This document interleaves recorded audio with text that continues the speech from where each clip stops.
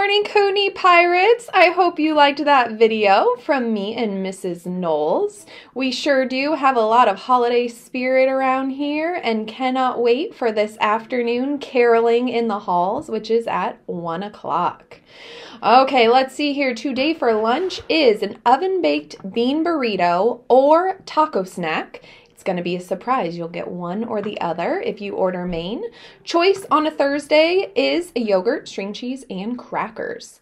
Want to wish a very happy birthday to fourth grader Taj Claiborne and also happy birthday to fourth grader Charlie Ellert. I hope you guys have a wonderful birthday. Okay, I want to remind everyone that tomorrow is Footwear Friday. That means wear a fun pair of holiday socks. And I have a shout out here. Shout out to Cannon in Mrs. Reichardt's class uh, for being polite. He stopped what he was doing to help a friend clean up a spill, and that shout out is from Mrs. Miller. Okay, Kootenai Pirates, I hope you have a wonderful Thursday. Can't wait to see you caroling later.